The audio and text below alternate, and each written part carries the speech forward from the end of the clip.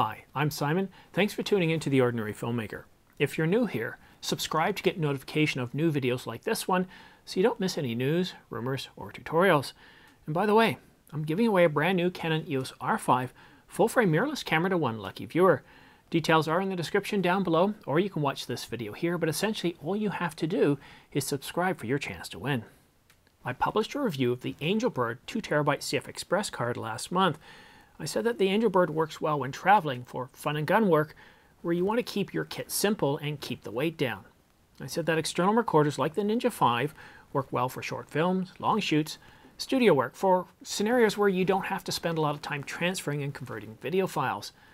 The Ninja 5 external recorder uses better compression codecs, delivering better quality files with more color data than standard camera codecs, which is really good for grading.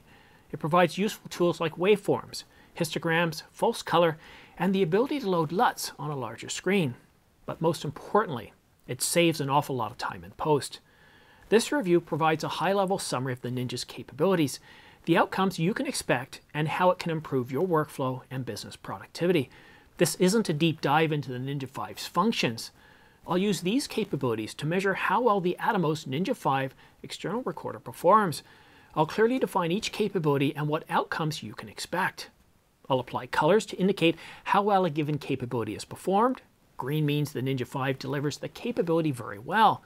Red means it performs it poorly or not at all. And yellow, well, it means it's good or somewhere in between.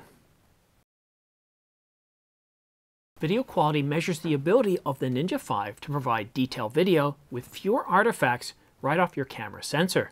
So if you've got an AA filter, no problem. You're getting the video feed right off the sensor before any AA filter is applied. The Ninja 5 provides 4K 10-bit video up to 60 frames per second with 422 chroma subsampling.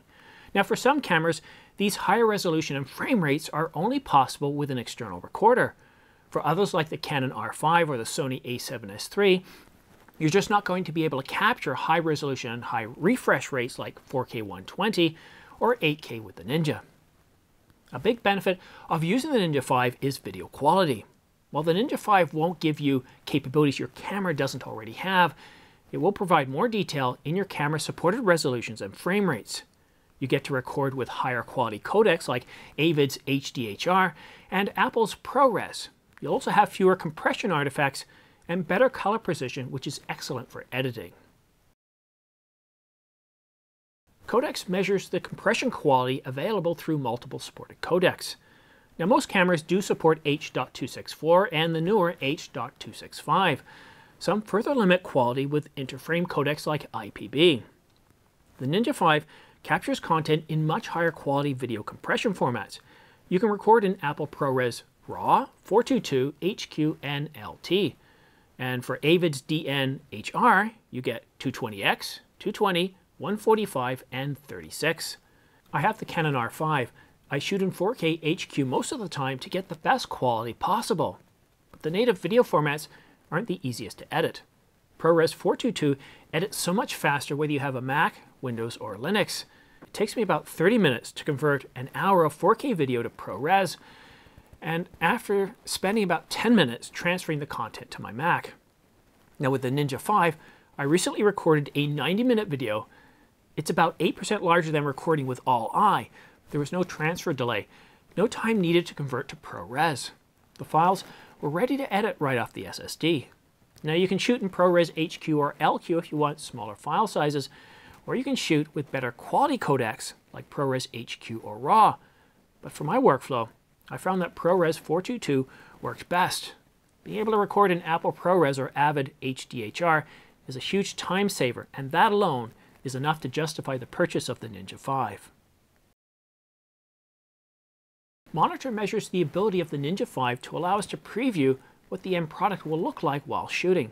The Ninja 5 delivers 1000 nits and provides a hood to prevent glare. The larger 5-inch screen allowed me to monitor video clearly. You can see the edges of the frame and position the camera exactly where it's needed. The same can't be said for the small 3-inch screen. Now, I, am probably going to get some comments on this. The problem isn't with the camera's LCD, but with my eyes. I'm 50, um, my eyesight isn't the best, so this larger 5-inch screen allows me to position the camera in seconds. Want to see what log footage looks like graded? No problem. Load your LUT into the Ninja 5 to show you what graded footage looks like. I've tossed out a lot of footage this year. I review everything through my camera's LCD. Exposure looks great, focus looks great, and the brightness levels looked good too. But in post, things look different. I've tossed out a lot of footage all too often. Have you ever done this? Let me know about your nightmare scenarios in the comments below. But as I've said when I reviewed the DesView external monitor, being able to see clearly what the camera sees helps you get it right the first time. The larger 5-inch screen makes a huge difference along with the added tools not found in most cameras. Tool measures the ability of the Ninja 5 to provide focusing, exposure, color, and other supporting functions to enable accurate live monitoring while recording to help you get it right the first time. The Ninja 5 comes with a lot of tools to help you shoot it right the first time. You get the Luma waveform, and I really wish the R5 had a waveform. It really helps you ensure you're exposed properly, and it's so much more useful to video than a histogram alone. You can see where in the frame you're under or overexposed. It also comes with an RGB parade, a vector scope, and even gives you the ability to zoom in on the vector scope. Very handy indeed. Not all of us have great eyes. And it comes with focus peaking, highlighting what's in focus, and zebras to show us exposure levels from 50 IRE. You can apply a false color and apply your own LUT. If the idea of an external recorder is new to you, and this seems a little bit too advanced, it's not. I've never used an external recorder before this review.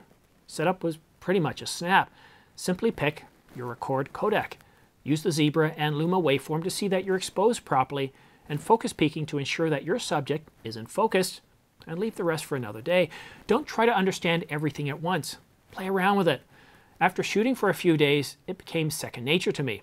Oh, and one more Sorry to interrupt myself with myself, but there's one technicality I need to share with you, and failure to do so could result in hours of frustration. If you own the Canon R5, you want to set the legalize function to on at all times. The R5 outputs C-Log in full range, but the Ninja 5 expects legal range by default. I'm not going to do a Gerald Undone deep dive into the technicalities of what this means. Suffice it to say, enabling legalization will match the Ninja 5's recording with the results you'd expect when recording C-Log internally. Now to permanently enable the legalize option, the HDMI HDR auto function in your input menu needs to be disabled. Once that's done, you don't need to re-enable Legalize after every boot up.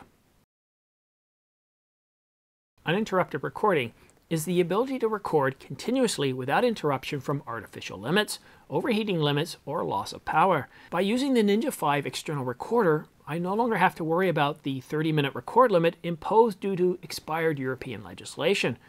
Or maybe you have the Canon R5, R6, or a Sony with overheat limitations.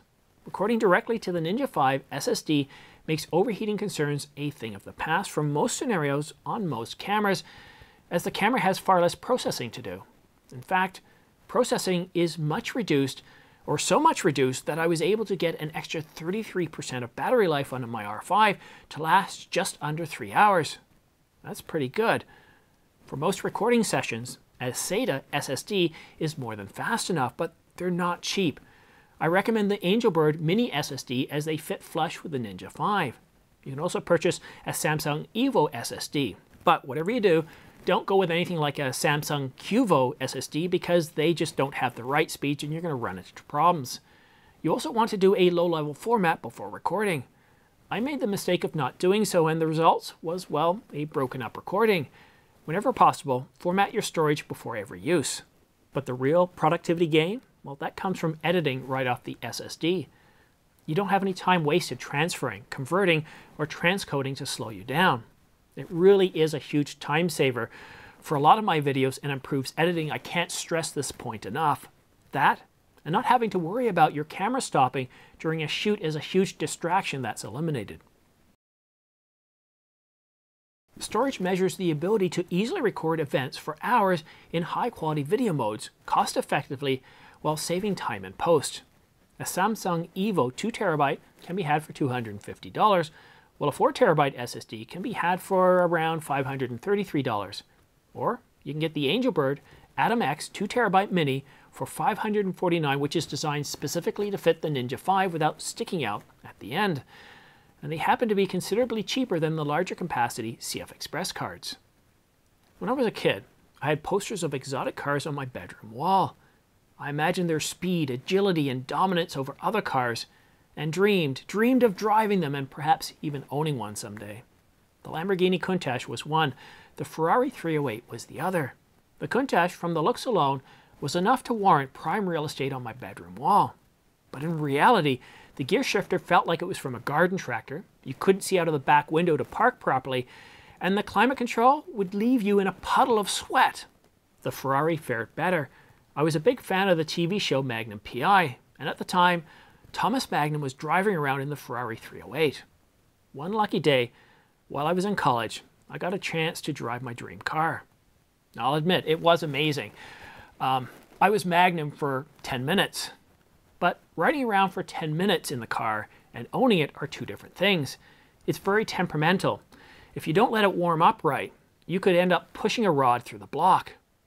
Now, since I got the Canon R5, I had dreamed of owning the Ninja 5, but I was afraid that, like meeting my car heroes, it would be less than I'd hoped, plagued with hidden issues and caveats that we don't see in a lot of reviews, that it would be too complicated, a pain in most scenarios, and the promise of recording and editing off the SSD, well, it would have lots of issues too. I was wrong. For long recordings of 20 minutes or more, studio work, commercial use, the Ninja 5 is an essential or it's, it's just a, it's an essential productivity tool. Monitor your scene to get the exposure, color, and focus bang on to reduce the impact of reshoots. Record high quality video directly off the sensor without any AA filter or in-camera processing. Record using high precision codecs like Avid or ProRes to get the best color precision and detail. But the biggest impact to your workflow is the sheer time savings. I produce a weekly question and answer video, and I normally shoot about 90 minutes of video for each session. Transferring to my Mac takes about 10 or 15 minutes, but that can easily jump to 40 minutes if I accidentally record to an SD card, and yes, it's happened many times. Something about the R5, even though you tell it to record to the CF Express card, every now and then it decides, yeah, I'm going to go ahead and put it on the SD card. Now, converting to ProRes, well, that could take up to 40 minutes, and exporting took another 60 minutes. Now, by editing right off the SSD, the transfer time is eliminated. Being able to record ProRes 422 eliminates the conversion time and makes editing so much quicker. Plus, the export time is reduced to 30 minutes because Final Cut now has time to render while I work, saving me an additional 30 minutes. That's huge. This reason is reason alone enough to justify getting the Ninja 5 external recorder. It won't take you more than a week to get a positive return on investment. And if your computer's slower than mine, your performance gains will be even better. But before signing off, if you're going to buy the Ninja, get the right gear. Buying the base package won't give you everything you need unless you have a well-established shop with batteries, chargers, and cables. If you are starting out, I recommend getting the Ninja 5 kit.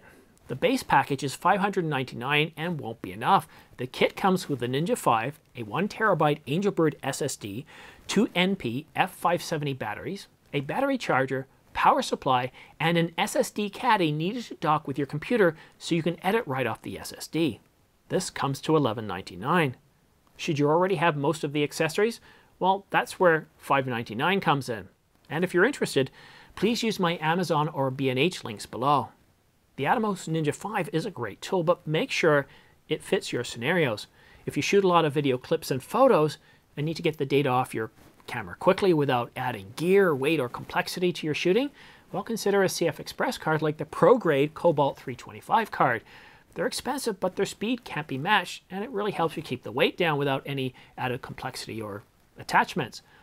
Now, if you're traveling a lot for fun and gun work, uh, you're not concerned about the speed, but need to keep the complexity and weight down as well, you might want to consider the 2 terabyte or 4 terabyte Angelbird but shoot a lot of interviews, event work, or studio work, commercial work where high quality content matters, where your time matters most of all, the Atomos Ninja 5 can't be beat. For most content creators, the Ninja 5 will pay for itself within a week easy, maybe even a day depending on your charge rate. Oh, and one last thing, make sure you set your camera sleep mode to disabled when connected to the Ninja 5. I have a special custom mode for this and it prevents me from having to get up and set it because the Ninja 5 stops getting a feed after a little while. But that's it for now. Don't forget to subscribe for your chance to win the Synco S6E and M3 shotgun microphones. I'll be awarding this prize to one lucky viewer once the channel reaches 20,000 subscribers. And I'll offer up a different, more expensive prize every 10,000 subscribers until the channel reaches 100,000, at which point I'll be giving away a brand new Canon EOS R5 full-frame mirrorless camera to one lucky viewer. And on that bombshell, thanks for watching The Ordinary Filmmaker. We'll see you again soon.